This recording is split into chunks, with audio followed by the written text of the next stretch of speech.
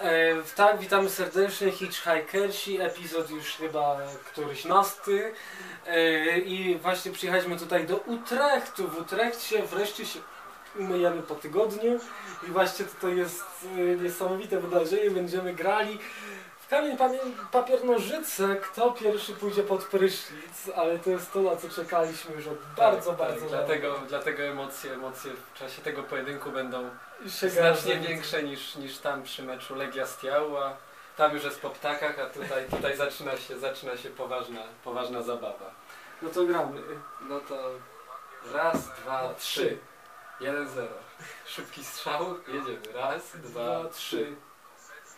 Raz, dwa, trzy. No, sorry,